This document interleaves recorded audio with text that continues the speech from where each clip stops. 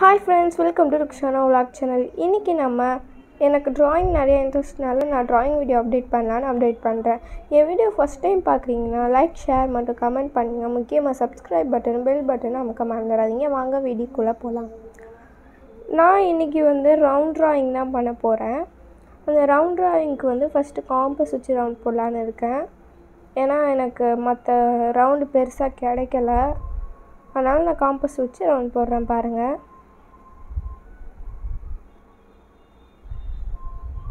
First நீங்கள் ஸ்லோவாக போடணும் ரவுண்டு இல்லாட்டி சரியாக வராது உங்களுக்கு. நான் ஃபஸ்ட்டு ரவுண்டு போடையில் எனக்கு கூட இந்த வரவே இல்லை எனக்கு. அதுக்கப்புறம் வீடியோ பாஸ் பண்ணிட்டு தான் நான் வந்து ரவுண்டு அடுத்த ரவுண்டு போட்டேன்னா பாருங்க நான் நடுவில் அந்த டாட்டில் வச்சு கரெக்டாக போடணும்னு போட்டிருக்கேன். ஏன்னா ஃபஸ்ட்டு ஒன்று வந்து புக்கோட லாஸ்ட்டுக்கு போயிட்டனால கரெக்டான இதை வச்சு நான் ரவுண்ட் போடுறேன். அந்த பென்சிலை லைட்டாக பிடிச்சி போடணும். இல்லாட்டி காம்பஸ் நவுண்டுருச்சுன்னா அவ்வளோதான் வேறு மாதிரி அந்த பென்சில் போயிடும் அதனால் கவனமாக ரவுண்ட் போடுங்க. இப்போ நான் வந்து ரவுண்ட் போட்டுட்டேன். இப்போ அடுத்து நம்ம என்ன பண்ணணும்னா நம்ம ஷேடிங் கொடுக்க ஆரம்பிக்கணும். எப்படின்னா சைடில் வந்து நிறையா டார்க்கான ஷேடிங் கொடுத்துட்டு அதுக்கப்புறம் லைட்டாக கொண்டு போகணும். டார்க்லேருந்து லைட்டாக கொண்டு போகணும். ஃபஸ்ட்டு இந்த மாதிரி அந்த பக்கம் உள்ள சைடில் உள்ளதை வந்து நல்லா டார்க்காக பண்ணுறதுக்கு இந்த மாதிரி லைட்டாக ஷேட் கொடுத்துட்டு அதுக்கப்புறம் நம்ம கையால் அதை ஸ்மஜ் பண்ணி விடணும். அப்போ தான் வந்து கரெக்டான ஷேடிங்காக இருக்கும்.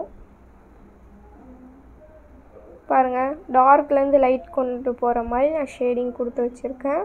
இப்போ நான் வந்து கையை வச்சு அதை ஸ்மஜ் பண்ண போகிறேன் ஸ்ப்ரெட் பண்ணி விட்ருங்க நல்லா.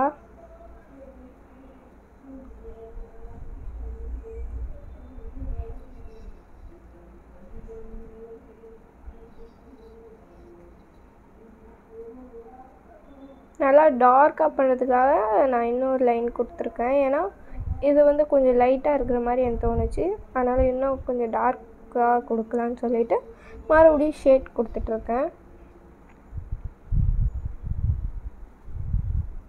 இந்த ஷேடு வந்து இந்த சர்க்கிளை தாண்டி போயிடக்கூடாது ஒருவேளை போயிடுச்சுன்னா நீங்கள் அதுக்கப்புறம் எரேசர் வச்சு அழிச்சிக்கோங்க. பாருங்கள் நான் டார்க்லேருந்து லைட் எப்படி கொண்டு போயிருக்கேன்ட்டு. லைட் கொண்டு போகிறதுக்காக லைட்டாக ஷேட் கொடுத்துட்டு அதையும் வந்து நான் கையால் ஸ்மஜ் பண்ணி விட்டுக்கிறேன். ஓகே இப்போ ரொம்ப அழகாக இருக்குது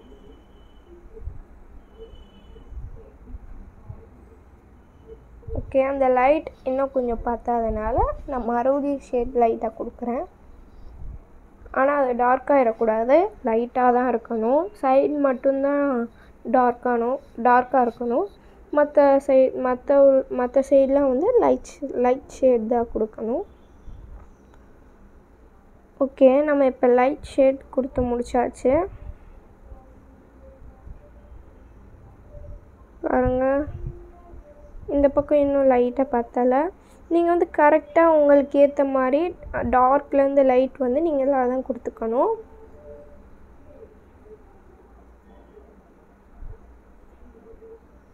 ஷேட் கொடுக்குறதுக்கு ஃபஸ்ட்டு பென்சிலை வந்து சைட் ம சைட் ஷே சைட் மாதிரி வச்சு இப்போ நான் எப்படி பண்ணுறேனோ அந்த மாதிரி ஸ்மூத்தாக பண்ணிவிட்டு அதுக்கப்புறம் தான் வந்து நம்ம கையால் எல்லா பக்கமும் ஸ்ப்ரெட் பண்ணி விடணும். பாருங்கள் இது பண்ணுறது கஷ்டம்லாம் இல்லை ஈஸி தான். இருந்தாலும் நீங்கள் ரொம்ப ஸ்ட்ராங்காக கையை வச்சு அழுத்தி ஸ்ப்ரெட் பண்ணிங்கன்னா பேப்பர் வந்து பிஞ்சிரும். அதனால் ஸ்லோவாகவே பண்ணுங்கள் இப்போ வந்து ட்ராயிங் தேவையான நம்ம பிரிட்ஜ் வரைய போகிறோம் அதுக்கு ஃபஸ்ட்டு நான் ஸ்கேலால் ஒரு லைன் போட்டுக்கிறேன். சென்டரில் போடக்கூடாது சர்க்கிள் சென்டரில் வந்து லைன் போடக்கூடாது. அது கீழே தான் போடணும் கொஞ்சம். போட்டுட்டு செகண்ட் லைன் அதுக்கு கிட்டே போடணும். கரெக்டாக அதுக்கு ச சரியாக இருக்கிற மாதிரி போடணும். ஓகே இப்போ வந்து எனக்கு ஸ்கேலில் வந்து கரெக்டாக போட்டுட்டேன். இப்போ போட்டுட்டு அந்த சைடை வந்து அழகாக அந்த சர்க்கிளோட மேட்ச் ஆகுற மாதிரி யூ மாதிரி போட்டு விட்டுறணும்.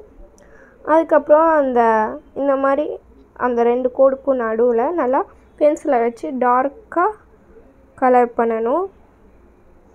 நான் வந்து கலர் பண்ணிட்டு காட்டுறேன். ஏன்னா எனக்கு கலர் பண்ணையில் கையில் வச்சு பண்ணால் தான் சரியாக இருந்துச்சு. இப்படி பண்ணையில் இந்த லைனை விட்டு தாண்டி போகிற மாதிரி இருந்துச்சு. அதனால் நான் கையில் வச்சு பண்ணிவிட்டு உங்கள்கிட்ட காட்டியிருக்கேன். இப்போ அந்த மாதிரியே அதுக்கு பிரிட்ஜுக்கு கீழே உள்ள ஸ்டெம்ப்லாம் வரைஞ்சி நான் அதையும் இப்போ கலர் பண்ணி வச்சுட்டேன் பாருங்கள் இந்த மாதிரி தான் செய்யணும் இதையும். ரொம்ப அழகாக நான் கலர் பண்ணி வச்சுட்டேன். இப்போ வந்து அதுக்கு மேலே உள்ள லேம்ப் வந்து வரையலான்னு இருக்கேன். பாருங்கள் அதுக்கு வந்து சின்னதாக ரெண்டு கோடு போட்டிருக்கேன் பார்த்தீங்களா உங்களுக்கு தெரிஞ்சிருக்கும். அந்த ரெண்டு கோடுக்குள்ளேயும் இந்த மாதிரி டார்க்காக கலர் பண்ணணும். ஓகே கலர் பண்ணியாச்சு.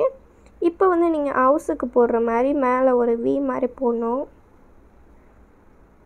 பாருங்கள் ரெண்டு சைடும் ஒரே இதுவாக போடணும். நீங்கள் ஸ்கேலோட எட்ஜை வச்சுட்டு ரெண்டு பக்கம் போட்டால் கரெக்டாக இருக்கும். ஒவ்வொரு இன்ச் ரெண்டு பக்கம் போட்டால் எனக்கு லைட்டாக கோணலாம் வந்த மாதிரி இருக்குது இருந்தாலும் பரவாயில்ல அழகாக தான் வந்திருக்கு. ஓகே இப்போ வந்து அந்த ரெண்டு இதுக்கும் நடுவில் ஒரு கோடு போட்டிங்கன்னா நம்மளுக்கு ஒரு ட்ரையாங்கிள் ஷேப் கிடைக்கும். பாருங்க அந்த ஓரத்தில் லைட்டாக டார்க் கொடுக்கணும் நம்ம. ஓகே ஃபுல்லாக டார்க் கொடுத்துடணும். அந்த ட்ரையாங்கிள் உள்ள ஃபுல்லாகவுமே டார்க்காக பென்சிலை வச்சு கலர் கலர் போடணும். ஓகே நம்மளுக்கு அழகாக வந்துடுச்சு பாருங்கள் இப்போ வந்து அடுத்து ஸ்ட்ரெயிட்டாக ஒரு லைன் போடணும். ரெக்டாங்கிள் ஷேப்பில் அதுக்கு வந்து நான் லெட் பென்சில் யூஸ் பண்ணலான்னு இருக்கேன் மெல்லிஸாக வேணுங்கிறதுக்காக. ஓகே நான் இப்போ லைன் போட போகிறேன் அது வந்து மூணு மூன்றரை இன்ச்சுக்கு தான் இருக்கணும்.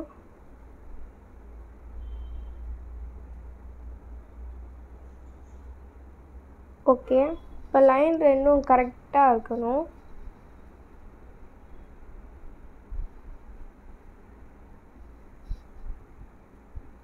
ஓகே இப்போ நம்ம லைன் போட்டாச்சு. அந்த லைன் வந்து கரெக்டாக இருக்கா நீங்கள் ஒரு வாட்டி பார்த்துட்டு அந்த லைனுக்கு பக்கத்துலேயே இன்னொரு லைனும் போட்டுக்கோங்க. ஏன்னா அந்த லைன் கொஞ்சம் டார்க்காக இருக்கணும். இன்னொரு லைன் போட்டுட்டு அந்த ரெண்டு லைனுக்கும் நடுவில் டார்க் ஷேட் கொடுங்க. இப்போ நான் கொடுத்துருக்கேன் பார்த்தீங்களா இந்த மாதிரி பண்ணிவிட்டு அடுத்த லைன் வந்து கீழே போடணும். அந்த ரெண்டு லைன் நம்ம வந்து ஃபஸ்ட்டு போட்டோம்ல ரெண்டு லைனை அந்த மாதிரி கீழே வந்து அதை விட கொஞ்சம் பெருசாக ரெண்டு லைன் போடணும். நான் போட்டிருக்கேன் பாருங்கள் இந்த மாதிரி கொஞ்சம் கீழே அதுக்கு அந்த லைனுக்கு கீழே ஒவ்வொரு இன்ச் வந்து இது பண்ணும் நான் போட்டிருக்கேன் பாருங்கள் இந்த மாதிரி போட்டு இதுக்கு கீழேயும் ஒரு சின்ன லைன் போடணும். நீங்கள் ஸ்லோவாக பண்ணணும். அவசரப்பட்டிங்கன்னா லைன் வேறு மாதிரி போயிடும் ஸோ ஃபாஸ்ட்டாக போட ட்ரை பண்ணாதீங்க ஓகே இப்போ இதையும் வந்து டார்க் கொடுக்கணும். ஓகே இதையும் ஷேட் கொடுத்துடலாம் நம்ம. பாருங்கள் நல்லா ஃபுல்லாக டார்க்காக கொடுங்க.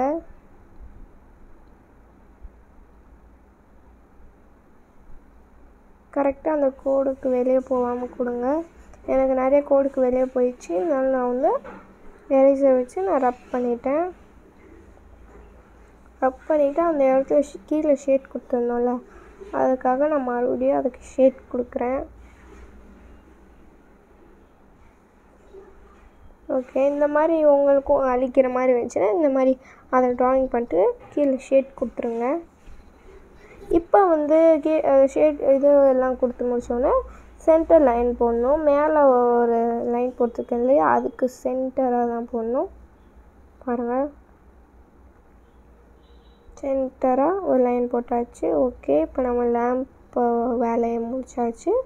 அது அழகாக இருக்குது பாருங்கள் ஓகே. இப்போ நம்ம அடுத்து என்ன வரைய போகிறோன்னா அந்த லேம்புக்கு பக்கத்துலேயே அழகான ஒரு கேர்வாக வர த்ரீ த்ரீ வைக்க வரைய போகிறோம் த்ரீ இங்கே பாருங்கள் அழகாக அங்கேருந்து ஒரு கேர்வாக வரணும் லைனு ஓகே இப்போ கேர்வாக வரதில் செகண்ட் லைன் வந்து இந்த முடிகிற இடத்துல சின்னதாகவும் ஆரம்பிக்கிற இடத்துல பெருசாகவும் இருக்கணும்.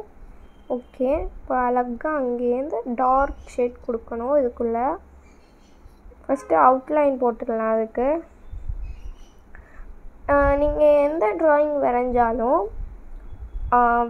ஃபஸ்ட்டு லைட்டாக வரைஞ்சிட்டு அதுக்கப்புறம் ட்ரா டார்க்காக வரைங்க ஏன் சொல்கிறேன் அப்படின்னா நீங்கள் லைட்டாக வரையில ஏதாச்சும் தப்பு வந்துச்சுன்னா அழிச்சிடலாம் நீங்கள் டார்க்காக வரைஞ்சிட்டிங்கன்னா அது அழிக்கையில் அது ஒரு மாதிரி அசிங்கமாக தெரியும். அழிச்சாலும் கூட. அதனால நீங்கள் லைட்டாகவே ஃபஸ்ட்டு வரைஞ்சிட்டு அது சரியாக இருந்துச்சுன்னா டார்க்காக வரைங்க இப்போ அதுக்குள்ள மறுபடியும் டார்க்கான கலர் கொடுங்க. நான் ஃபாஸ்ட்டாக கொடுத்துட்டேன். ஏன்னா எனக்கு ஏற்கனவே கொடுக்க தெரியும்னால ஃபாஸ்ட்டாக கொடுத்துட்டு நீங்கள் லைட்டாகவே கொடுங்க.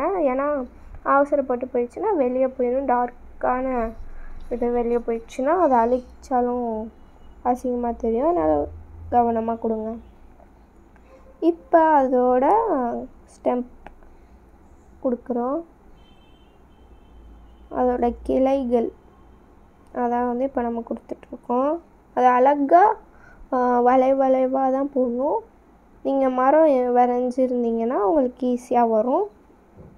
இல்லாட்டி நீங்கள் வந்து உங்கள் வீட்டு பக்கத்தில் ஏதாச்சும் மரம் இருந்துச்சுன்னா அதை பாருங்கள் தெரியும். இந்த மாதிரி தான் வளைவாக போகும். அதோட கிளைகள்.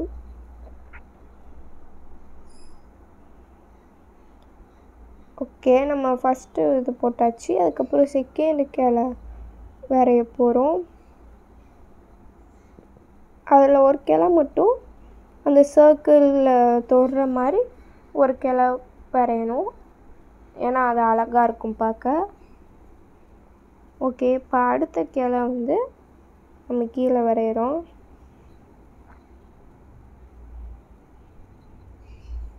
இது ரொம்ப டைம் ஆகிறதுனால நான் கொஞ்சம் ஓட்டி காமிச்சேன்.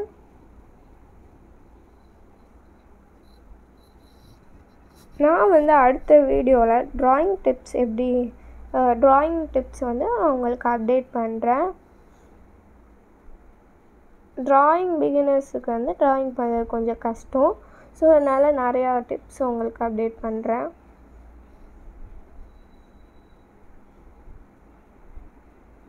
ஓகே ரொம்பவே அழகாக வந்துடுச்சு இந்த ட்ரீ வந்து அழகாக ஃபஸ்ட்டு வரைஞ்சிடணும். வரைஞ்சிட்டு அதுக்கப்புறம் அதோட லீஃப் வந்து குட்டி குட்டியாக வரையணும் அங்கங்கே. ஃபுல்லாக வரைஞ்சிடக்கூடாது அங்கங்கே தான் வரையணும். பாருங்கள் நான் அங்கங்கே வரைஞ்ச மாதிரி நீங்களும் அங்கங்கே வரைங்க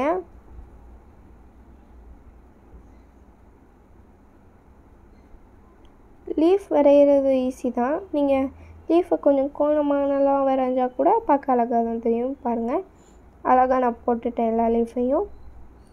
போட்டுட்டு நான் பேர்ட்ஸ் எங்கே வரையலான்னு நான் பார்த்துட்ருந்தேன் சரி பேர்ட்ஸை வந்து இந்த பிரிட்ஜ் மேலே வரையலான்னு சொல்லிட்டு தான் நான் பிரிட்ஜ் மேலே வரைகிறேன் நான் வந்து பேர்ட்ஸ் எப்படி வரையினா ரொம்ப ஈஸி தான். ஃபஸ்ட்டு ஒரு ஹார்ட் போட்டுட்டு மேலே ஒரு சர்க்கிள் போட்டுட்டு ஒரே ஒரு லைன் நீட்டிக்கிற மாதிரி போடுங்க. அழகாக பேர்ட்ஸ் உட்காந்துருக்க மாதிரி இருக்கும். அதோட வாழை வந்து கீழே பிரிட்ஜுக்கு கீழே வந்து லைட்டாக மூடி மாதிரி போட்டு விடுங்க. போட்டு நான் டார்க் பண்ணலான்னு நினச்சேன். அதுக்கப்புறம் டார்க் பண்ணால் நல்லா இல்லை. ஸோ கஷ்டப்பட்டு ஓகே பேர்டு வரைஞ்சாச்சு. இதோட என் வீடியோ அவ்வளோதான் ரொம்ப அழகான ட்ராயிங் வரைஞ்சாச்சு. என் வீடியோ பிடிச்சிருந்தா சப்ஸ்கிரைப் பண்ணுங்கள் வா இதோட இந்த வீடியோ முடிஞ்சு. பாய் பாய்